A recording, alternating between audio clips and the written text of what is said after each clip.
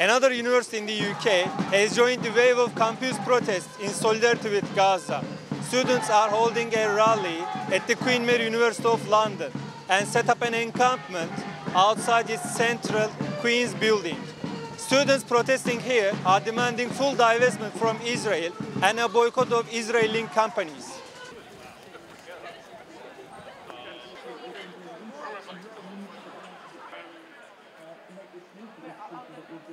Predominantly, we're here to join this global student movement. Um, as I'm sure you guys are aware, there have been a encampments popping up all over London. Um, but primarily, instead of making this a student issue, I think what we're really focused on is keeping the focus on Gaza and everything that's going on in Palestine. We've obviously seen over 30,000 deaths, more than 14,000 of them children.